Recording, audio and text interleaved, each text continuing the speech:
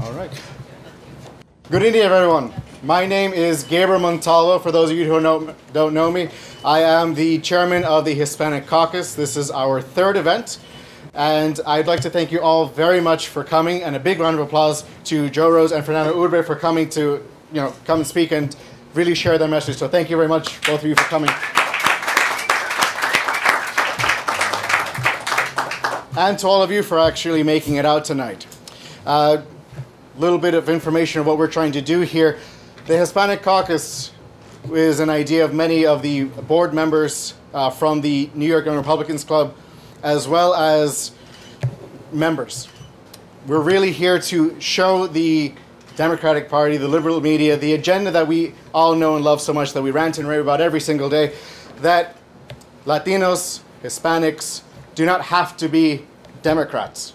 We do not have to be liberal. We don't have to be progressive. Through you showing up, even if you're not Hispanic, you're Hispanic in my book and in our board members group. You support us, and as they like to say, an ally for sure. We were able to endorse Curtis Sliwa, who ran for mayor recently, and we endorsed Vickie Paladino, who actually won her city council seat. So congratulations, Vickie. No small feat. We had our board members from the Hispanic Caucus as well as the New York Young Republicans Club actually go out and door knock. Uh, Fernando Acosta, did a great job out there. And a very big thank you to Aldo Solares, our Hispanic Caucus Treasurer, right there.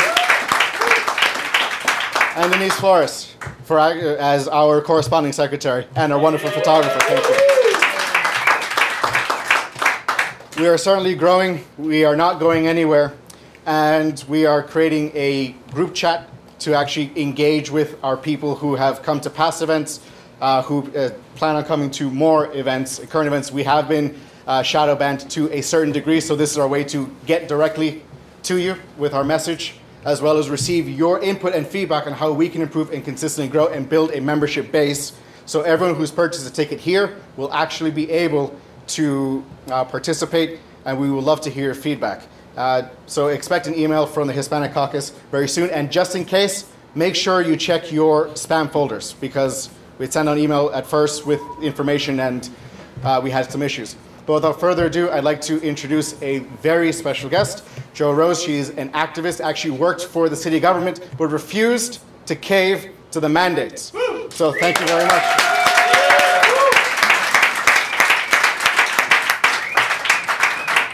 Thank you so much for inviting me, Gabriel. Thank you, Denise, and thank you everyone for coming. Um, like it was stated, so basically I used to work for the Department of Education. I was a paraprofessional. I worked in a self-contained classroom um, for District 10. So basically what that is, is that um, typically the other classes, they have 20 or almost 30 students. In this particular classroom, they had about 12 students, and some of them were assigned to a one-to-one staff member that either assisted them with either emotional behaviors or academic challenges. I had a student um, that was from the Dominican Republic. I am myself from there as well, even though I was born and raised in the Bronx. My, both my parents came from the Dominican Republic to this country, um, basically seeking financial opportunities. And I think you all can relate if you're Hispanic to the fact that if you come to this country and especially if you live in New York City, that automatically you fall under the Democrat Party. And I used to be one of those, and then um, eventually I voted for Trump, and I received a lot of backlash and hate because of that, like a ton of hate mail um, coming from people that I went to high school with, as well as, um, you know, I hate to say it, but white liberals and black Democrats that basically told me that I was misinformed and that I was a sellout and a coon for deciding not to vote for Democrat or do identity politics. Um, I got involved into the anti-mandate uh, movement because I knew from the beginning of March 2020 that something was very wrong when the government tells you that you can travel, that certain jobs are considered essential, that you cannot send your children to school, um, that you can worship. I, it reminded me right away uh, of Nazi Germany. And I tried to warn out people in my social media account on Facebook, and people told me that I was crazy, that I was a conspiracy theorist, and a whole bunch of other stuff. But as time went by, Um, I was pouring right, and as right now we see in year number two, from the two weeks to slow down the spread, the government has gotten a lot more power, thousands of people unemployed. You see the, the hypocritical leaders like de Blasio um, and others um, in Democrat-run cities and states and you see them not wearing masks. You see them living their lives normally while children are suffocating in school six to six to ten hours, eight hours a day with the mask on, being yelled at by staff members. They decided they want to put on the mask for two seconds just to breathe.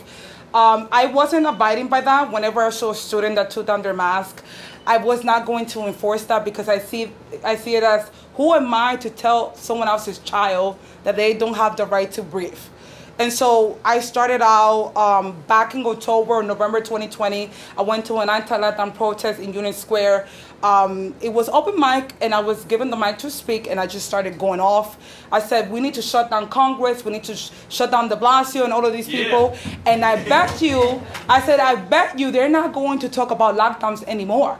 If their salary is going to be affected, they're not going to be pro-lockdowns because I saw the destruction of businesses, people that literally had spent all their lives to work hard to get whatever, whatever little they were able to attain, and now this is being taken away under the excuse of public health and safety. I said, someone that cares about you, they would not do that to you. And so what I started to do with people is that I tried to explain from a psychological perspective. I went to school for psychology, although I did not finish my studies, but I grew up in a bit of a dysfunctional household, and so those experiences dealing with people narcissists toxic people uh, employers and things of that nature help me to understand exactly what is going on. Because i know many of you here have asked yourself that question as to how come people do not see the agenda.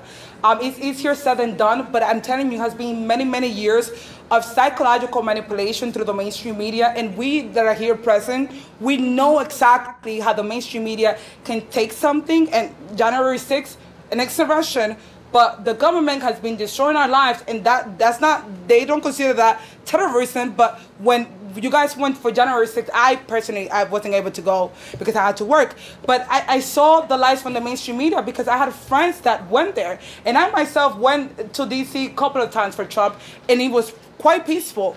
And one thing that I can say that I, I, stay away from the whole political stuff when it comes to the movement because it helped me get even liberals and Democrats to understand what's going on. So when I go to my, my rallies, I do not speak about it. Um, and that has brought a lot of unity, including people that support Black Lives Matters.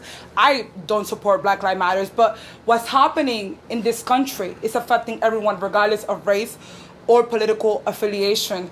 And at the end of the day, whether people want to agree with this or not, we have to find a common ground to unite because this country is under attack. The world is under attack.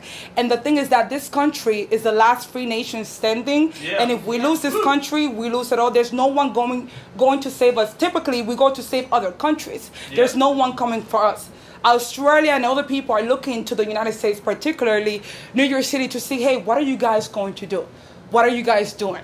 And so that's how I started. I started with two or three people on the side, on the bullhorn, freezing cold. And then from there, I, I had a social media account, my Instagram page, that has been severely shadow banned. And so I had to create a backup page on my main account, I have almost 19,000 followers from all over the world um, from Texas, Florida, uh, different states here as well, people from Europe and Australia, which, you know, I'm, I'm great that they're able to see that there's people here that are not agreeing with the agenda because if you just follow the mainstream media, you would think that everyone here in New York City is with this nonsense, and that's not even the truth. And then again, they also do not do not like to portray that there's people of color especially black and Latinos that are against this. What the media used to do when I started doing my protests, because I was the only person of color, they would crowd me out of the pictures and put Trump white supremacists, New York City anti-vaxxers. Yeah. No, seriously, that's what they used to do. And I'm like, this has nothing to do with white supremacy. This is an issue that is affecting everyone equally, regardless of race. Now, if you guys have seen my protests now or, or rallies, I don't like to call it mine, it's everyone's movement. If you go see it now, you see people of all walks of life. You see black, white, Latinos, Jews, and it's amazing because guess what? Biden said he was going to unite the country, and I guess he was right. He definitely united the country. So I, I thank him for that because everyone is chanting, let's go, Brandon. And so, hey, people love it, people love it. And and, and so I, am going to explain psychologically uh, why people don't understand. So I, I spoken before about narcissism. If we go back, for example, to slavery when they had the field slaves and the ones that were in the house, um, it was the illusion that the, the house slaves were getting better treatment. But in reality, both were equally slaves. It was just the illusion. So when I use this, um, uh, uh, this analogy, I'm referring that to the scapegoat, the unvaccinated, and the golden children, those the, the, the slaves that were in the house, got better treatment. The people that keep complying, it seems that the illusion that they're able to go to the restaurants, they're able to keep their jobs, they're able to freely travel. But but at the end of the day, what narcissists do, people that are mentally ill, they like to divide and conquer. They have gone through the mainstream media. They use us, the scapegoat, because the scapegoats are the ones that are able to see the, through the lies and the manipulation of the narcissist. And the scapegoats are the ones that are the truth seekers and the true um, tellers.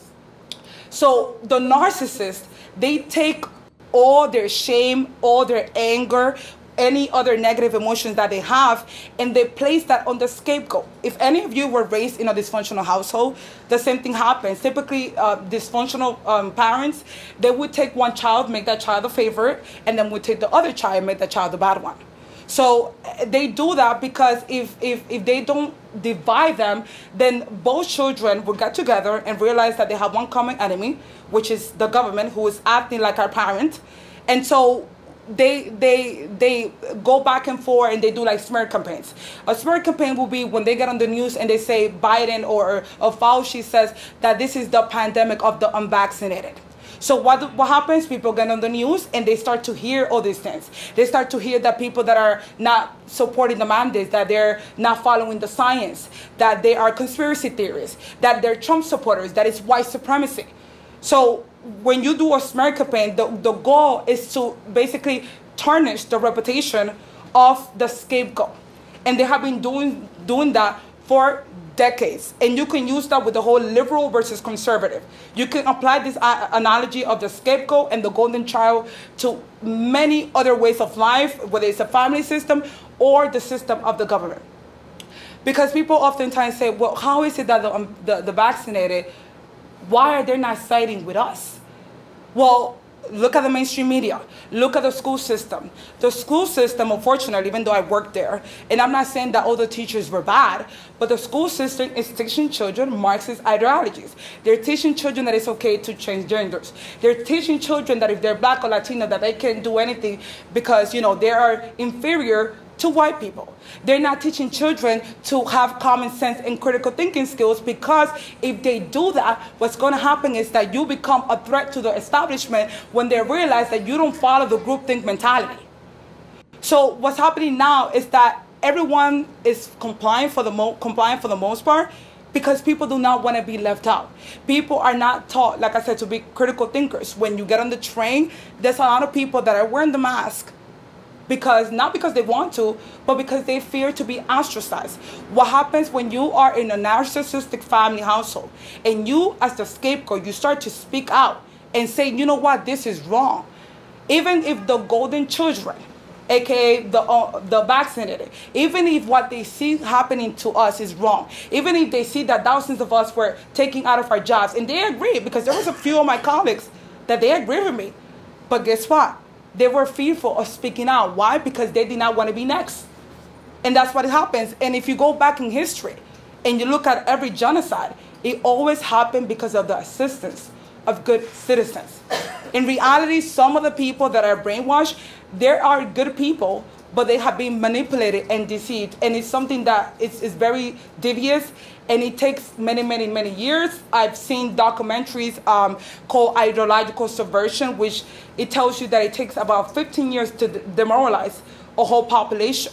This is why we see what we see, and sometimes I get aggravated as someone that is out in the streets, and I have dealt with a lot of hate. Like I've had people give me the middle finger. I've been called the N word as I was out doing my outreach.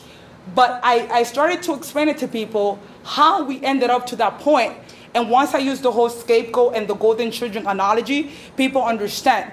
Now, the golden children, which are the vaccinated and the people that can comply, what they fail to realize is that for now it seems like everything is okay for them. They're uh, the top class citizens. But the end goal of the narcissist is that they're going to discard both the scapegoat and the golden children once their agenda is fulfilled. Mm-hmm. So all of this, yeah, all of this is is is, is uh, malicious, evil, mental yeah. manipulation. That, like I said, it, it, they've been working on it for years. If you look at even at the beginning of this country with the house slaves and the field slaves, because you have to ask yourself, how is it that people just why didn't they why didn't the other slaves joined together form a coalition to overtake their master because now we're redoing this other type of slavery but it's now it's not based on, on race anymore it's based on vaccination status and a lot of things that a lot of people don't know is that we are in the stages of genocide okay? It, it has ties to slavery it has ties to nazi germany. Every and every other genocide that has been committed in the world at large is because of the mental manipulation because no one in their sane mind would go along with this agenda of like you're okay with your brother or your sister or your uncle because I've seen uh, people that were married and because of what's going on they have gotten divorced. I've seen parents that don't speak to their sons or daughters. I've seen sons and daughters that don't speak to their parents. And so again, we need to go back to the root of the problem and realize that some of this dysfunction comes from within our own family unit and it has spilled out with the government who's acting like our parent. And I feel like once people start to understand that, then we'll be able to do more. Obviously, it's also political. Um, it's about power and control. And with narcissists, that's what they want. They want power and control. None of this makes sense. If you if you look at it from the beginning, Dr. Fauci said that masks were a false sense of uh, protection at the beginning, right? Mm-hmm. Then once people got vaccinated, he said you have to wear two or three masks. You know what that is? It's called gaslighting. Gaslighting is a technique that is used to make you doubt your perception. And what we're living through is uh, the cycles of abuse. If anyone has been with an abuser, whether it's a female spouse or a male spouse, they start to, to first they love bomb you. They're nice to you. Then they start to like sneak attack you. They start saying little things or they start hitting you and then they're nice to you. They, they go love bombing you again, and then you start to think, well, maybe they didn't mean that. Maybe maybe I'm confused, or maybe they're they're nice, and maybe they're having a bad day today. Just like with, with the lockdowns, we did the lockdowns two weeks because they cared about us. Mm-hmm. Abusers isolate their victims. Abusers stop their victims from having income. so that that's how that's how it happens because many people are always saying oh Jo, I don't understand these people, and I and I get frustrated. But the difference is between me and some people is that I've I've done many many many uh, years of research when it comes to psychology. I myself have gone to therapy. I'm not ashamed to say that because I grew up in such a dysfunctional household that I wanted to understand why I was acting the way that I was acting. Why was I going to jobs and being treated the same way that I was treated in my home? Why I was getting with um, uh, partners that were being abusive. And again, if you take that information that I gave you, if you start to search up the relationship of the golden child and the scapegoat, you're going to see that it's, it's the same thing that's happening right now. And like I said, abusers take away your income. Abusers stop you from talking to your family members. And then they, they say, you know what, we're going to go back to normal for two seconds with the law, bomb, bombing you, telling us, oh, we're going to open back the city. And we all got excited, oh, yeah, we're going to go back to normal. But then, oh, no, the condition is that you must show your Nazi pass. You must show your slave card, aka your vaccination card. And then it's going to continue because the minute that you show an abuser that they're allowed to do certain things, they're not going to stop until they have full control of you, your body, your children, everything that you own. And so I just hope that what I'm saying right now serves for a purpose because, again, we can talk about all the political aspect and we could sit here all day discussing that, but until people understand from a mental level and a spiritual level, then we're not going to be able to understand how to even go about defeating the enemy.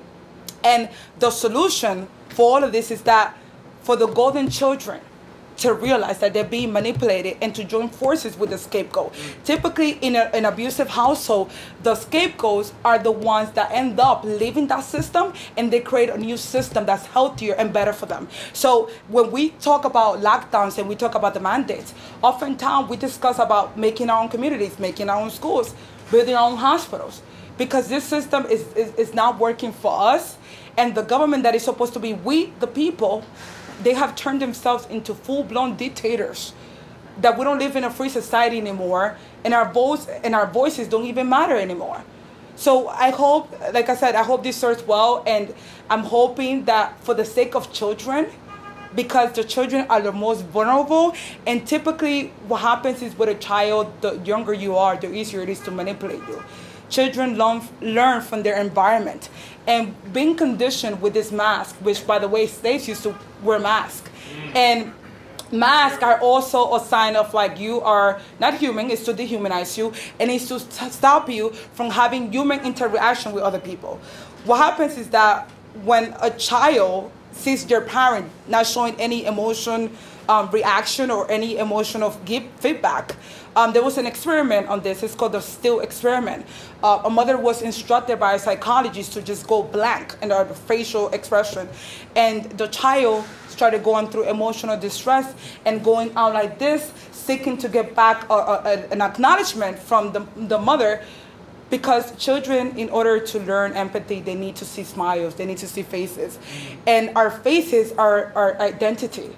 They're the way that we can relate to each other. So by putting on the mask, they are dehumanizing you. They're telling you that you are a slave, that they own you, that you're not even allowed to breathe, which is the essence of your life. And we are depriving children of oxygen, children whose organs are still developing, by the way. And so we're sending these children the message that living this way, which is quite abnormal, is normal. And psychologically speaking, it's gonna some of this damage is going to be irreversible because children are being conditioned to see slavery for freedom because people think that slavery is just having chains on your legs and feet. This is a new type of slavery that is more digital. They want to have um, the health passport digital. They want to have all our medical records digital. Everything is digital because this is being ran by technocrats. And so they want to instill the, the social score credit system which is what they have in china because they're trying to have us living like the Chinese Communist Party. And again, I, I implore and I, and I beg people to fight this off, not for yourselves, but for future generation. If you're not a parent and you're wanting to have children, or if you're a parent, think of your children and think of your, your grandchildren in what kind of world do you want them to live in because we have the right to pursue happiness and this is unconstitutional and they know that it's unconstitutional and i have mentioned before that slavery was abolished by the 13th Amendment. So if we if we are not allowed to have um, the decision to what we put into our bodies, then to me that amendment no longer counts, and we are reversing back to slavery. But again, it's not just blacks anymore; it's going to be everyone. And so we must stand up because this is the last chance that we have. And like I said, there's no one coming to rescue America. America has to rescue itself and essentially rescue the rest of the world. So thank you so much for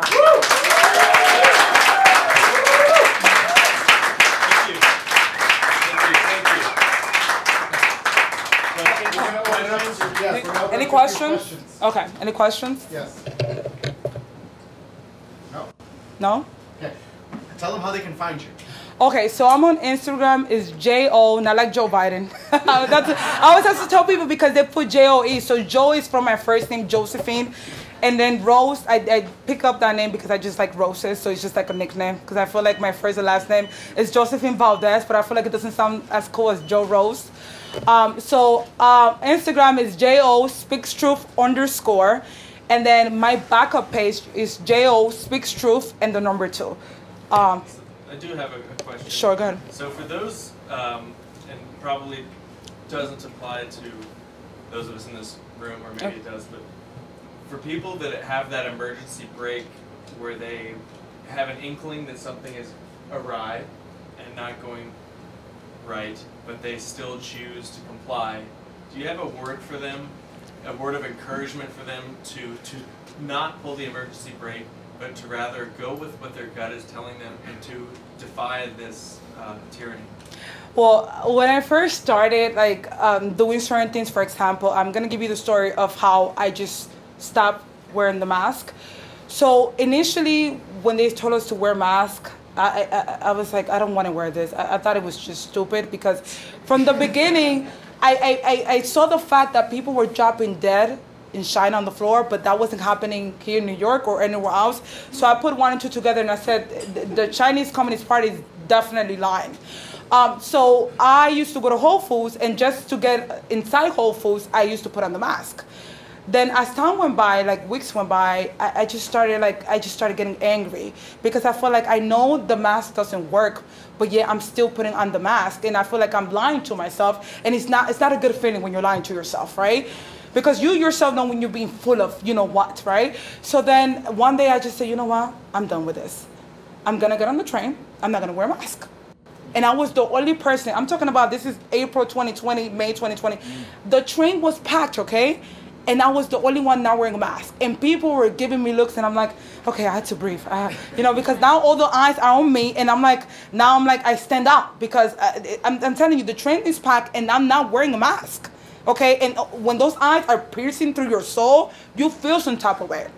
So, the more I started doing it, I, I got on social media, and this is how I started to develop a following to encourage people. You don't want to wear a mask? Don't wear the mask. I had people that told me, "Oh my God, Jo, I'm scared, but because I've seen you do it, I'm going to do it." When you first start to do something, and even life itself, life is about taking risk. Sometimes you have to um, get out of feeling comfortable and get uncomfortable because guess what? Like I said already, this is the last opportunity that we have to have a free nation and a free world. When it comes to my freedom, I'm, i told my mom this last year. I'm willing to die for to protect my freedom. So I understand that fear is how also we got to this point. I forgot to include that in my speech. Fear is how we got to this point, right? And again, if you do not start to do things that make you feel uncomfortable, then this is never going to stop. Your compliance is making this longer. So I know it's easier said than done, but you have to start doing it. When we were children and we started to walk or ride a bicycle, it was scary. But guess what? The more you kept doing it, the easier it got. When I first did it and I went along and I'm like, you know, I'm not wearing a mask, yeah, I was scared. But the more I started to do it, the more I'm like, you know what? I'm go- I'm still gonna do it. Till this day, no one approached me on the train. I did have a couple of friends that unfortunately, for example, I have a, a, one of my good friends, she's Asian, the reason why I'm mentioning her nationality, her ethnicity, is because they used to attack her, but they wouldn't attack me. Now, I don't know if it was because of my race and people felt like they were afraid to do so, but she told me that I was the, I'm being honest because she tells me that. And I'm like, well, it might be true. She said, she said, Jo, because of you, I've stopped wearing the mask because, because she used to wear the mask because she was scared. She's Asian. People are going to look at her and blame her and be like, oh, she's Chinese she was the one that brought in the virus because that did happen to you know a, a group of Asians that people were blaming them for bringing bringing the virus. You know how people can be ignorant. So little by little, she just she just started getting on the train. She started getting on the bus, and she thanks me for that. And that's what I want people to encourage people to have the power to fight for your rights. It is our God-given right to breathe. The mandates are not the law. It's unconstitutional. And even if it's the law, even if it was the law, when tyranny becomes the law, the law of rebellion becomes duty. So, yeah. so listen, I'm sorry. If, if everyone would have stayed scared and no one would have fought this up, I told my mom I still would have been a slave. So we need to get over that mentality of like, well, I'm scared. No, we're running out of time. There, there's not much time left. And we're heading into year number three because if you look at it, March 2020, it was like the whole year. And then 2021, it's been the whole year. Now we're heading into year 2022 and now they're going to vaccinate five-year-olds with an, an experiment. Not having it. So, so again, if you have fear, use that fear and transmute that fear. Get angry because anger, anger can be very powerful. Use that anger of the fact that you want to go back to normal and you want to be free because it's our God-given right. We don't need to beg public servants to give us back our freedom. So yeah. find that in within you. I know it's not, it's not, it's not easy, but again, if you don't start somewhere, then you're never gonna own, own up to your own power. Okay? Any other questions? No? Thank you. Okay, thank you. Next, I'd like to present a friend of mine, Fernando Uribe, who actually supported me during when we first met when I had my first ever uh, Walkaway Hispanic American Town Hall. That's with Brandon Straka. I met a few of you actually over there. Uh, and he has been great. He's invited me onto his show. He is an educator, a philanthropist, and an overall great Republican friend that we have in New Jersey. We know how the elections went in New Jersey recently. Almost red. We don't know. If, I'd say election fraud. You'd say that, yeah. I'd say that too. But I'd like to present up to the stage now. Thank you very much, Fernando. Hi, everybody. How are you? Good to see you. Thank you. Now, I do look like, I, I know I'm dressed like Chris Cole, but I promise you I'll be much more informative. Okay? Um, I just want to say, how about Jo? Let's, let's give her a round of applause, please.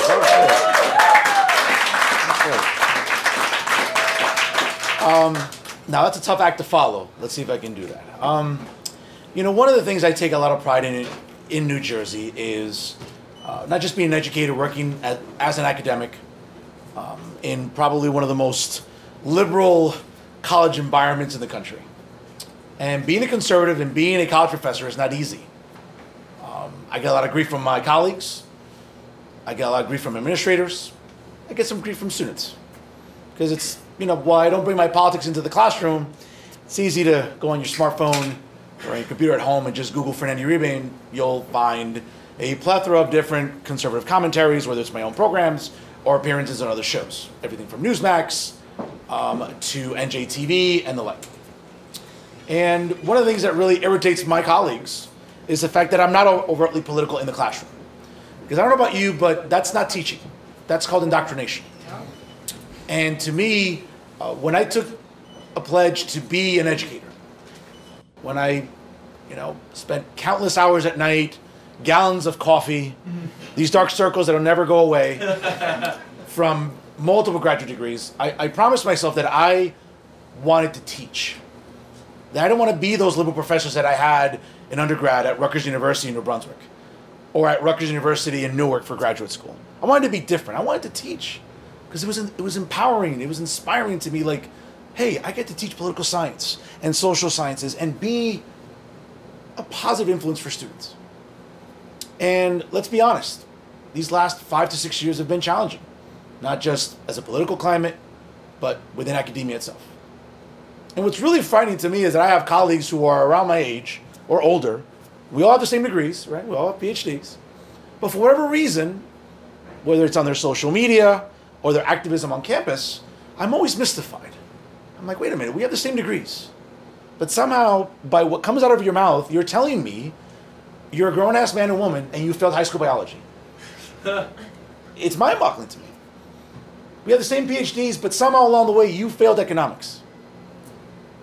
And some of you teach economics, which is even more startling. And I sit there and going to work, now again, this is even pre COVID. Going to work was one of the most disheartening things I could ever imagine. I went to campus, I went to the faculty room, I sat down in my office, and I would put on my earphones, I would have my coffee, I would just put on whatever was on my iPad, and I would just detach myself because every single day it came to colleagues saying, "Well, what do you think about this? What do you think about that?" No offense, like I took enough quizzes. All right, I want to be quizzed. All right, I went from like taking exams to grading them now. Okay, and every single day my colleagues would say to me, "Well, what do you think about this, Fernando?" I'm like, "Well, I don't think anything. Can I have my muffin?" Is that all right? Well, what do you think about what Trump said? I don't know. He's the president. Or well, at the time he was the candidate. What do you think? I'm like, I don't know. That's his opinion. what do you think about Hillary? I try not to. you know? And it became such a polarizing and toxic environment. And now it hasn't discouraged me because I enjoy teaching. But along the way, while going to graduate school and teaching, I also developed a love for media. Because I don't know about you guys and girls here, but I'm one of those that I'm a political junkie. I grew up listening to WABC radio. I grew up listening to Rush, God rest his soul. I got I grew up, you know, going to undergrad, grad school, and listening to different talk radio shows on, you know, AM terrestrial radio and even on, on Sirius satellite. And I found that love for politics. But when Gabriel asked me to come talk to you today, it wasn't not just about sort of blowing up my accolades. It's not about that. It's about sort of answering a very simple question. What's a conservative? What's a conservative in 2021? And I look at being a conservative through different lenses. I look at it as just not an academic. I look at it as the only conservative journalist in the state of New Jersey. But I look at it also too as being Latino, Hispanic. Okay? It's Latino, Latina, not Latinx. Okay? Sorry. I, mean, I find it inter- I find it very interesting. Again, no no disrespect to my Caucasian brothers and sisters here. but I find it very interesting when white woke people are trying to tell me how to identify as a culture. I find it insulting. I find it just, I find it condescending, and I find it intellectually bankrupt. Let's just go with that. So I'm Latino or Hispanic. But when I think about being conservative, I think about my roots. I think about being the son of immigrants. I think about the fact of learning what it is to have a good work ethic, to understand the importance of bilingualism and multiculturalism. So when I think about my conservative values, and I think about where I got them, well, they're sitting over there. Those are my parents. You may not see them in the back, but they're, they're there. So my mom and dad serve as an inspiration to me. Because I was born here. I had it really easy. Not my mom. She had to leave Cuba with nothing but a suitcase at the age of 17. Leaving everything behind, knowing what it's not like to vote, what it's not, not like not have a free press, what it's like to not have any basic civil rights. My dad, on the other hand, left a bad economy in Colombia. They came here not knowing English, having a decent amount of skills that you can use in the workplace. And they didn't come here looking for handouts. They didn't come here expecting someone to take care of them. They came here and worked. You know, I want to embarrass them, but I mean, they met in a factory. Okay? My mom being under 18, I think, and my dad was a little bit older, you know? so, but, um, but they came in, they worked, and they built something. And along the way, you know, I came along. And along the way, I learned the importance of, of hard work and family. And the idea that, you know, cons- being a conservative is believing in, in these principles, in believing in a work ethic, in believing in family, in believing that you take care of your family, not the government. Government is not going to ever, ever give you the necessary tools to raise a family or to be productive citizen. That has to come from you. That has to come from family. So when I hear my colleagues on the left, whether it be academia or in journalism in New Jersey, talking about, well, the nuclear family isn't important, that is bull blank. Okay? That is nonsense. Okay? The nuclear family is crucial. Now I understand. Not all of us were blessed to have two good parents. Some of us come from single parent households. Some of us are adopted. Some of us are orphans. But the importance of the nuclear family cannot be understated. We have to look at the importance of a functioning nuclear family. Why? Because that increases our ability to be productive, to be successful. And when, and when I think about being a conservative, when I think about conservative values, I think about the importance of family. The, imp- the reality that government is never going to give you the best tools in how to raise your children and how to better educate yourself and what to do with your life. Nobody gave me a single thing. I grew up in a working class family with my parents. Okay? I had to learn Spanish because I knew my grandmother, God rest her soul, who took care of me from birth till forever and spending time with her. I knew the importance of, bi- of being bilingual, about multiculturalism, about the fact that guess what? When I'm growing up, no one's going to take care of me. And my parents told me that. No, I can be a slacker. I can be a little bit lazy. They know. They come over my house. And they know something. They'll see clothes laying around, whatever. But when it comes to work ethic, when it comes to being responsible, that's where it is to be a conservative. To want to take care of you and your family. To not depend on government. When has government ever done anything correctly? Okay? They can't run the post office. They can run the VA for our brave men and women that come back. Afghanistan. Okay? And now I have colleagues in academia and I have activists in journalism telling me that they want government to be even more expansive and invasive. You're crazy. I say this all the time. So when I think about conservatism, I think about, again, the reality that we have to, A, be responsible. Okay? I've always been fascinated when I hear the idea about, well, when you're conservative, you're fiscally responsible. And again, no disrespect to my liberal colleagues and some of my progressive, you know, leftist friends. But I don't think being good with money or being responsible in budgeting, I don't think that's a conservative value. That's a commonsensical value. And for whatever reason, in government, the liberal media, our institutions like schools, common sense seems to be absent. Right? It seems to be like non-existent. You know?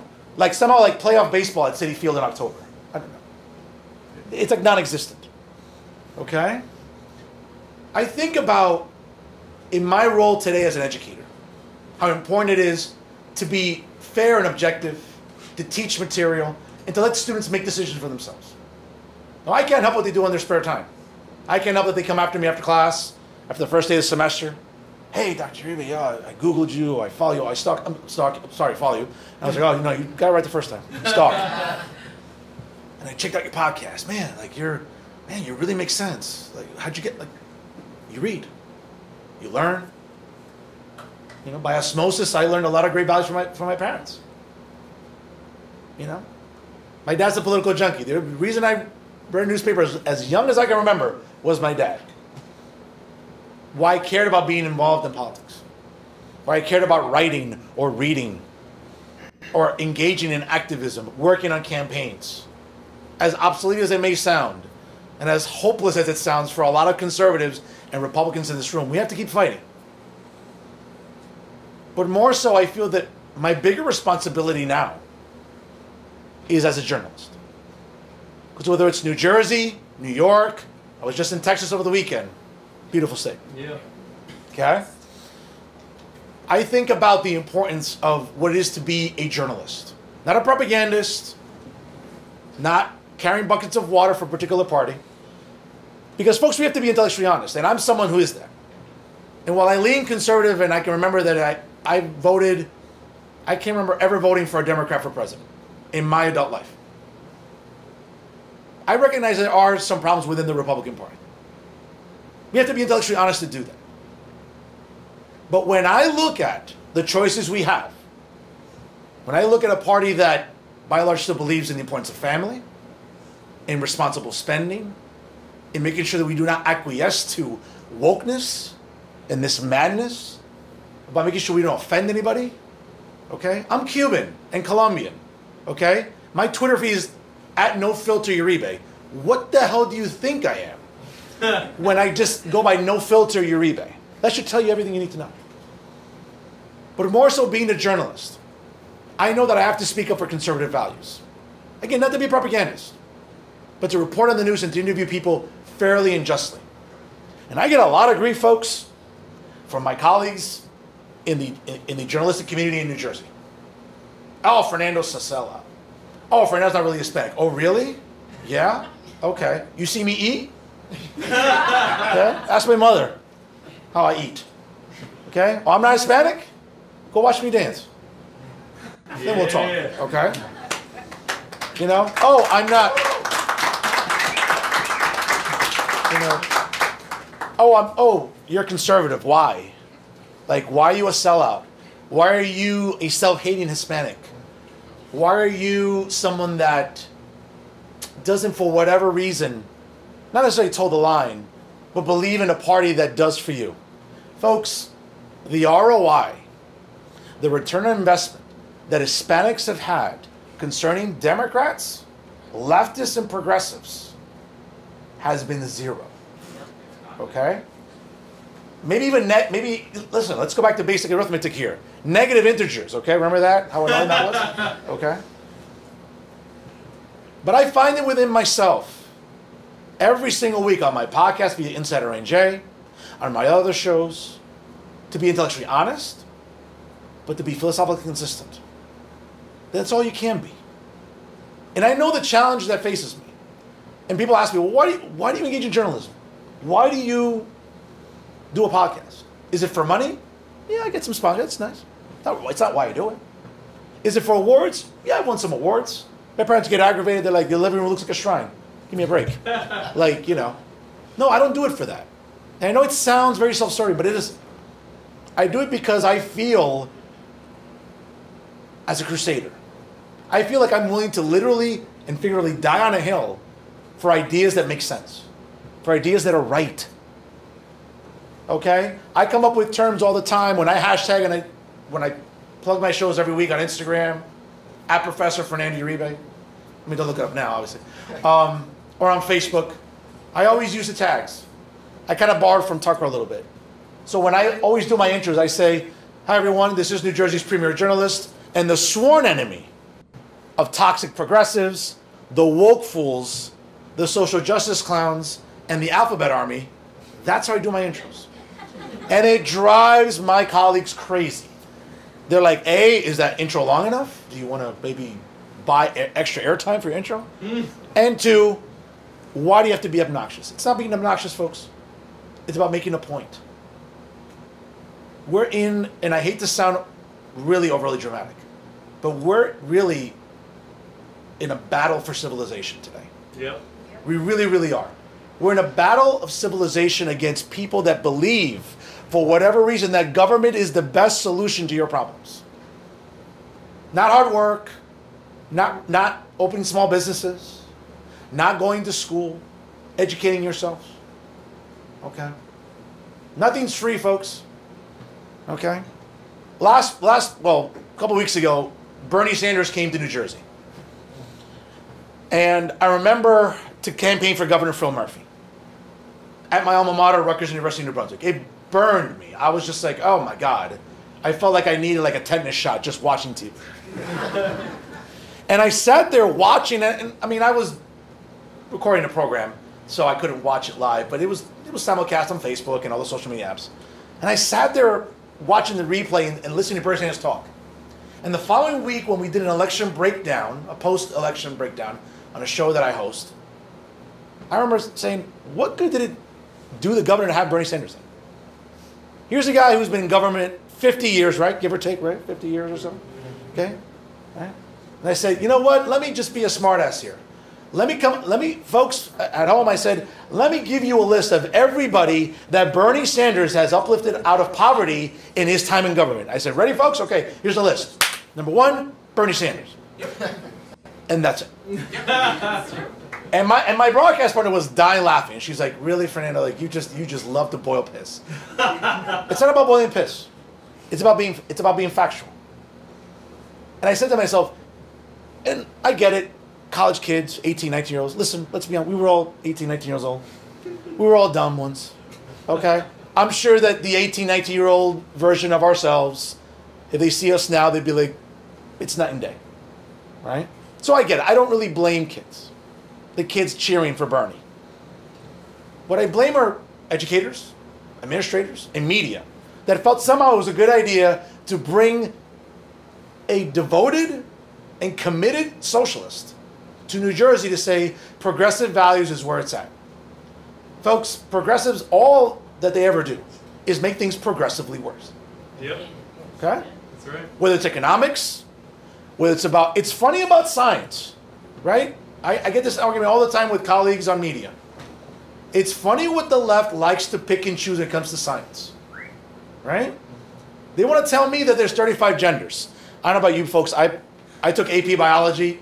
I don't know about you. There's two genders. Okay? If that, if that annoys anybody in this room, I'm sorry, but that's just the truth. Okay? You don't want to believe in science. You believe in science when it suits you about COVID, right? You want to believe in science when it suits you about climate. And I understand, listen, should we take care of the planet? Absolutely. Do I think Aquaman's going to be at my door next week because we're going to be underwater? For any, for any of you comic book fans who know Aquaman is. Okay? No, I don't believe that. Should we be responsible? Sure. Do we have to engage in carbon taxes and hysteria? Of course not. So I feel that my responsibility as a journalist is to help at least speak up for conservatives, and more so for, more so for Hispanics, because what a lot of Democrats don't want to hear, even though we we become a convenient base and a voter block, is that not just only New Jersey, because the census data says it, but nationally, we're getting browner. People like me, people like Jo, like Gabe, people like a lot of you here. Okay? I don't mean that as a scare tactic. Oh my God, you know, everyone's gonna be playing, you know, reggaeton in every block. No one's saying that. So relax. No one's gonna be blasting reggaeton or bachata or anything else. Okay? No one's saying that. But as conservatives, yeah, embracing multiculturalism is amazing. We gotta do it responsibly. That's what the left can't do. And they haven't been able to do. So in closing, folks, you know, when I when I think about my responsibility, not just as an educator, but more so as a journalist, now more than ever, we should want to be louder and prouder about our conservative values. Don't hide it. Go on Twitter, help recruit people, retweet important and factually correct tweets content on Instagram and Facebook. I don't TikTok because I, I just think that's obnoxious, but sorry. not that Nothing against TikTok or Snapchat, whatever. But I think that my responsibility now more than ever is to be that journalist that is going to speak up for regular, working class, good hearted, conservative people, regardless of race and gender and ethnicity. That, folks, identity politics, that's, I'm the last person to ever talk about that. What I talk about is making sure that we can at least be united in common sense, in common sense governing, in common sense policy. I talk about all the time on my shows. I'm a policy nerd. All I ever talk about is policy with Christians. So when I when I interview legislators, activists, journalists, candidates, whether right or left, and I interview everybody under the sun. I've interviewed the president of the New Jersey Socialist Society to the president of like the Young Republicans of New Jersey and everyone and everybody else in the middle. What I believe in and what I do consistently is be down the middle and be fair to them. Because I want to have a conversation. It's not about who can scream louder. It's not about being Cardi B and being the loudest person in the room and that makes you right. No, no one's saying that. I think it's Cardi B, but you know what I'm saying. It's about wanting to have a dialogue. We should be able to have a dialogue with the other side. But folks, come with your facts. Come prepared. Come ready to take them out because they want to take us out. And unfortunately, there's no negotiating with the left. There's no negotiating. There's no compromise. There's no way to sort of play nice with them. No. We have to come with our facts. We have to come with our policies. We have to come with our belief systems. And I promise you, if we do this, not just me as a journalist, but each and every one here in, in this room, whether you're a candidate, whether you're going to be a teacher, with any of you are in finance, whatever it is you're doing, when you come to the table, come prepared with information. Come prepared with facts. Come prepared to, guess what? The other side, they won't catch you off guard. They won't be able to fool you with phony science and phony statistics. Folks, read, empower yourself, educate yourselves. And I promise you that as conservatives, regardless of what our backgrounds are, regardless of our socioeconomic status, our heritage, whatever it is, we come prepared and we come to the table ready to fight, we're going to win that fight. Because we have facts on our side, we have faith on our side, and more importantly, we have family on our side. And those are three things the left can't beat. Thank you.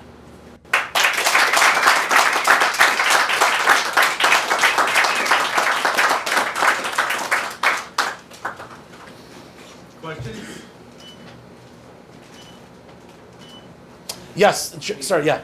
Pleasure finally you in person. Hi. Um, so yeah, two, two questions. Are you still teaching? Yes, I teach still at Bergen Community College in, uh, in New Jersey. Uh, they haven't kicked me out yet. We'll see. Uh, but um, teaching's the most fulfilling job I've ever had. Being able to teach in a college classroom, to talk about U.S. history, to talk about where we came from and where we're going, and that's something that you know I take a I take a lot of pride and initiative in when I do that. So So I know you'd like to take the stance to stray away from the pol- politics in your teaching, but in terms of your pers- perspectives on it from coming from your students, do you see any opinions that are sort of straying away from the leftist um, ideology that is being pushed upon us then? Um, I would say that what I just try to do in the classroom is just be factual with my students. Like case in point, I, when I teach U.S. History one and two, um, we spend literally the first two weeks of the semester on the Bill of Rights. I mean, I dissect that like that annoying frog that we did. Remember sophomore year in high school biology? Like that's what I do to the Bill of Rights. I dissect it completely because it's important to know what these rights mean. Yeah, they're not just some like hashtag that we can just throw out there. It's about understanding what those 10 amendments mean to us and why they're all important. Um, and that's how I approach teaching. And again, I can't control what happens in other classrooms. I can't control the fact that I have colleagues that walk around with Che Guevara t-shirts or say to me, oh, you know, they're uh, the new faculty advisor for the Democratic Socialists Club on campus. And I'm just like, oh my God, so you want to make people as intellectually bankrupt as you are. That's just great. You know? So you're telling people that, so you, so you don't know anything about biology and economics, so you want to make sure nobody else does either. Right? Is that what you're telling me? And of course, they'll be like, oh, you're you're such a know-it-all. Well, yeah. You know? But it's more about, again, just coming to the table prepared with facts. And if you do that, you're going to win every single time. Anyone else? No more questions? Really? Yes. Um, if, if, if a group of uh, Latinos wanted to um, step by step um, flip uh, Latino districts at the local level um, politically in New York City, what advice would you give?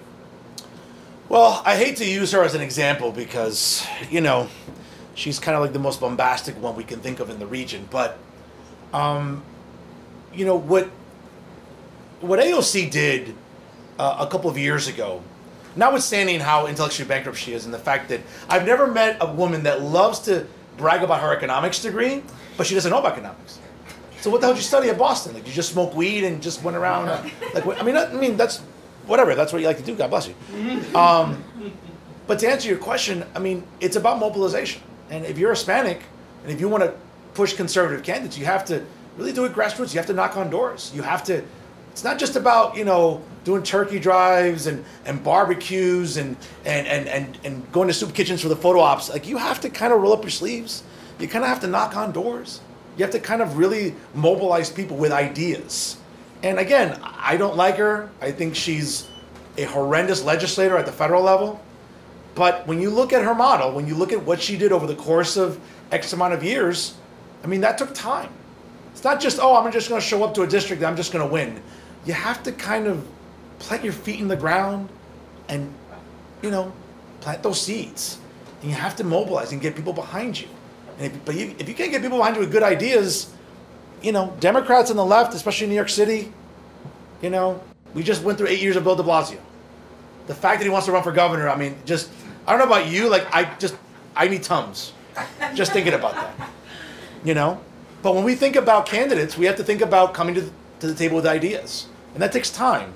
And everybody's willing to do that. People love the photo ops, people love the speeches and hashtags and Instagram. That's great. And you need that. Those are tools that are crucial. But you got to be willing to roll up your sleeves. Got to get a little dirty. You, gotta, you, you know, you got to cut your teeth a little bit. Not everyone's willing to do that. If you're willing to do that, go for it. You know, and use those tools at your disposal. That's it. No other questions? Yes. Yeah, so you talked about common sense, and I, I'm with you on common sense, hundred percent. What do you think a good common sense policy would be toward COVID? Because that's the issue of the day, that's the only issue. Well, as I'm reminded, you know, by my parents, um, I'm a doctor, but not a real doctor. I can't prescribe anything. So, um, what I would say, and I'm, they're going to kill me on the ride home. Uh, I'm going to have to take the PATH home. Uh, um, what I would argue, and, and what was your name? I'm sorry? Lisa, Lisa. What, what I would argue, Lisa, is I, I think that, listen, I just came back from Texas and uh, we, we were just in Florida in, uh, during Memorial Day weekend. And I hate the fact how COVID's been so politicized. And I see it in New Jersey. I see it here in New York, uh, in Connecticut, you know, nearby Pennsylvania too. Um, I would argue that, you know, for a disease, and again, I'm not, I'm not a virologist, but for, for, for a virus that has a 97% recovery rate that I'm aware of, um, higher. okay, I apologize. Uh, You know, let's be smart, but again, let's look at If we're as healthy as possible, are there vulnerable populations? Absolutely. Okay, we have to take care of them, right? Uh, you know, the governor Groper, I mean, uh, uh, Cuomo, Andrew, A- Andy, sorry. Um, you know, when he recklessly went about murdering elderly people, as Phil Murphy did too. Let's be honest. That's not science. That's just sort of expediting politics. And I would argue, to answer your question, I would say the most commonsensical policy is to make sure that we're not adding to hysteria, that we're not making our kids nervous, that we're not creating a panic among parents. Because we it in Virginia, we saw it to some extent in New Jersey. You start messing around with parents and their kids, there's going to be hell to pay in elections. There's going to be hell to pay next year when Republicans take the House. Okay? When Republicans probably will take the Senate too. It's because of this idea that you want to keep promoting fear, to Jo's good point. You keep promoting fear, at some point, people are going to act up and rise up. I'm not saying violence in the streets. What I'm saying is acting up, going to school board meetings, talking to different organizations, talking to their elected officials, and making noise. Okay? And this is the thing, and I say it all the time, and I'll, and I'll quote the great Joe Rogan. I just read it as I was at the airport yesterday. I was reading Cigar Aficionado, and there was an article about Joe Rogan. And he had a perfect quote. The reason he's against vaccine mandates, as I'm opposed to them, is because the minute we let government implement something, they're never going to take it back. Okay? Case in point in New Jersey. New Jersey, one of the uh, right original 13 states. Well, guess what? New Jersey didn't implement a state income tax until the 1970s. And why did New Jersey do that? Because New Jersey felt that they needed extra revenue to build better roads. Okay? Why did they introduce the Turnpike Authority and the Garden State Parkway Authority? Because we needed revenue, we needed, that, we needed that tax and those tolls to build better roads. Why do we need this tax and that tax? Can you name me a tax the government's ever implemented that they've ever rolled back? I can't remember that. Because it's never happened. Because government, once government implements a tax, they never take it back. Once government implements some sort of mandate on you, they don't want to take it back. Now, either you act up in a responsible manner, either you vote people out, you mobilize, and you make noise. Use the tools at your disposal. I would just say, from a common sense perspective, it's holding those accountable like every single day. Those in power accountable every single day. Please. Anyone else? Yes, sir. Yeah, uh, I was wondering, I really like your point about being blatant about values, you know? Uh, because I found that even when I tiptoe, people are still gonna call me a racist anyway, so. Um, and I think, and I, I wanna know, was there ever a point in the beginning of, maybe before you were a journalist or whatever, where you did self-censor or overly, you know, tiptoe about being, being open about your values? And if there was, what helped you switch over? Well, in terms of being blatant, I mean, I, you know, my mom reminds me after being suspended from Facebook three times this year, uh, Mijo, please be careful. You know, you know, it's like you got suspended again. Like she gets a new friend request. She's like, you got suspended again. Okay, but the reality is that when you're dealing with the left, when you're dealing with with the toxicity of the left, whether it be in academia or journalism, you have to just be overt. And, and I think what I tend to do all the time on my weekly shows, I'm really unapologetic about it. You know, so when I use those hashtags in my intros or on social media, the sworn enemy of toxic progressives, it's because they are toxic. It's not subjective. This is not me. Have it, it's fact. We're seeing it with policy making.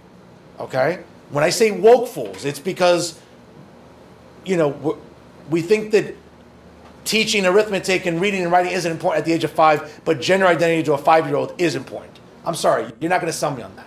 And it doesn't make me a homophobe. It doesn't make me a transphobe. It doesn't make me, you know, anti-LGBT, Q, whatever consonant they're adding this week. Okay. And again, nothing against the community. I have friends there. I have nothing against it. But the facts are facts. Or when I say social justice clowns, when you think everything's about cancel culture, when you think everything's about oh, we have to make sure we don't offend anyone or get, folks, you can you you can be factual. And if that's still offensive to people, that's not your problem.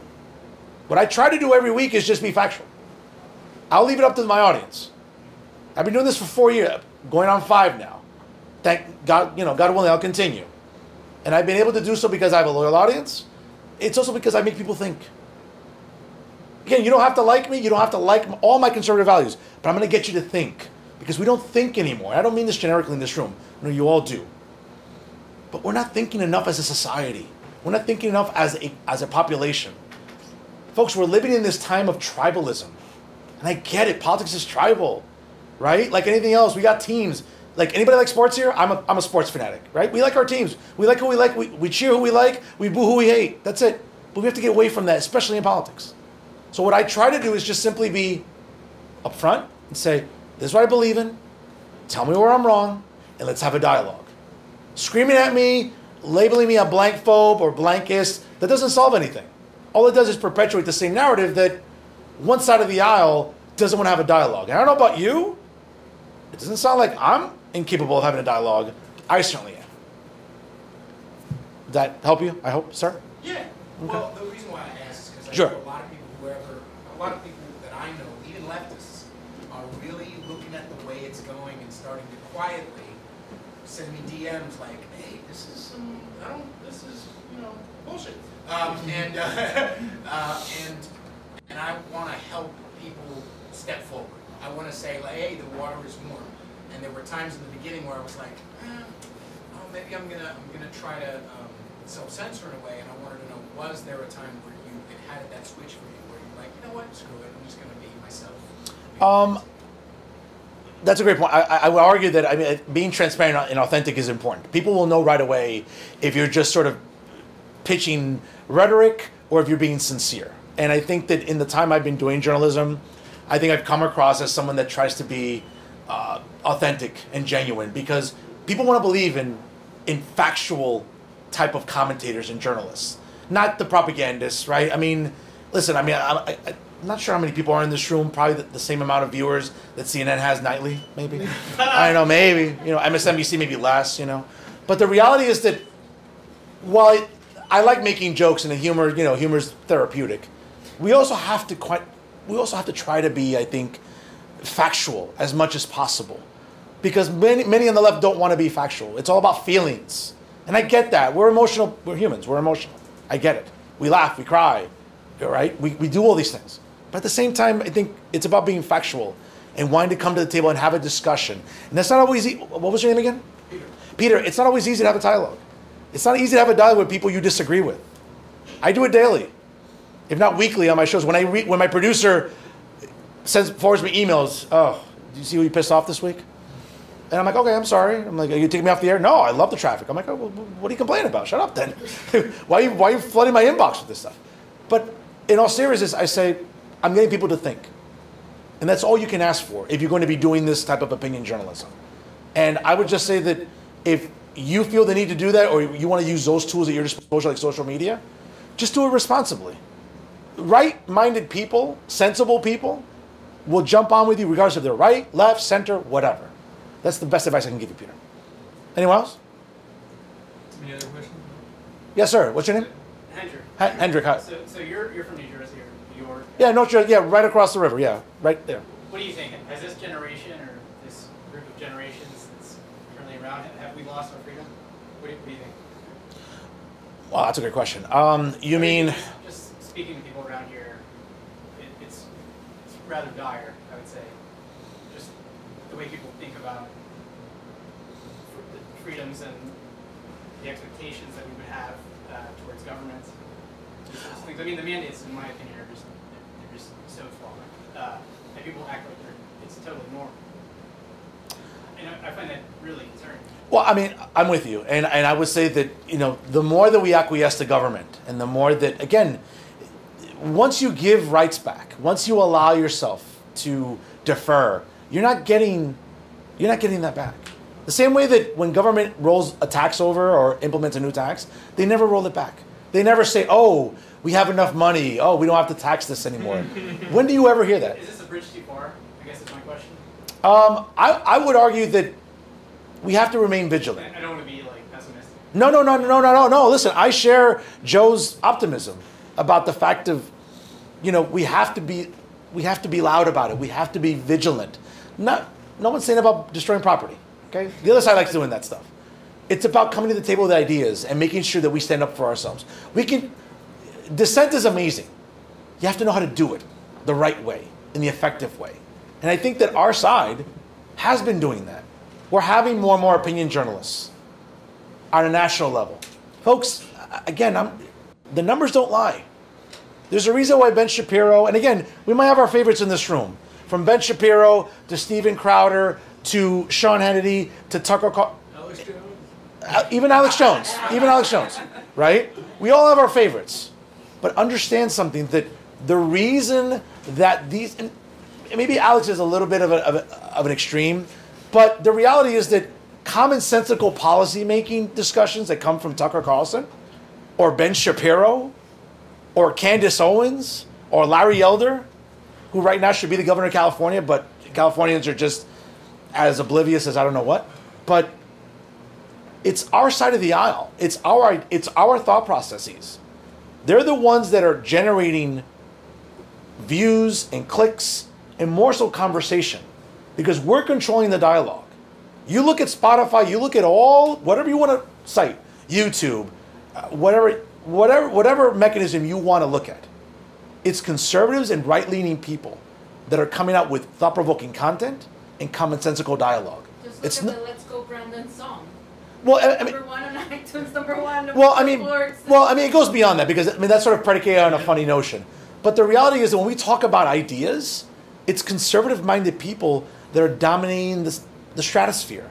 It's nobody on the left, and I have a lot of friends on the left that do podcasting. I feel like they're dominating, but What's that? I feel like they're dominating, but. Uh, I mean, we certainly feel that way here in New York City and in New Jersey too. But trust me when I tell you, on a national level, it, the epidemic isn't as bad as you think, man. Now, again, it's up to us locally and regionally to get more people to our side, to think critically. I tell my students all the time, I want you to think critically. If nothing else, at the end of the semester, when you're doing your review of my class, whether it's on ratemyprofessors.com or the actual physical, tangible reviews on campus, which, by the way, I hope they're nice. I always tell them, like, you know, hey, you know. But I always say, if for nothing else, if I got you to think critically, I did my job. Then when that when that direct deposit hits, I knew it was for something. But we have to get people to think critically, not emotionally, because thinking emotionally is no different than I don't know, just a fight with your girlfriend or your significant other. Okay, it doesn't really lead anywhere sometimes. Okay, you have to be able to think logically and critically. You do that, I promise you, we're gonna win. We are winning. Maybe it's not as fast as we would like it, but we'll get there. It's a marathon, folks. It's not a race. It's a marathon. It's going to take time. We have to, I- as, I- as I mentioned, what was your name? Ahilio. As I mentioned, you got to roll up your sleeves. Got to cut your teeth. Got to be willing to take a couple punches. Okay? You have to be willing to do that. If you do that, I promise you, like you'll be on the right side of stuff. Anybody else? Thank you guys again on Instagram. Thank you, thank you guys. Um, you can uh, follow me on Twitter at no filter Uribe. That's U R I B E, and uh, and on Instagram at Professor Fernando Uribe, and uh, find me on Facebook. It's the the nice handsome guy with the suit in the profile picture. Okay. All right. Thank you guys again. Appreciate it. Again, thank you everyone for coming. Thank you again to our two wonderful speakers. I hope you've had a great time. Please, let's give them another round of applause, please. Thank you so much.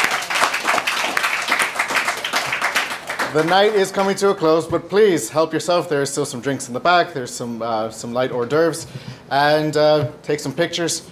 Please be on the lookout for our email blasts that we mentioned earlier. Uh, there's also our social media for the Hispanic Caucus. It's going to be NYYRC Hispanic on the major ones uh, Facebook, Twitter, and Instagram. We will be going on Gettr soon if that's something that everyone else is on. Uh, so, again, please see myself, Denise, or Aldo to we can answer your questions more regarding the caucus and if you'd like to become more involved and we'd be happy to take any suggestions. Thank you again and please enjoy the rest of the night.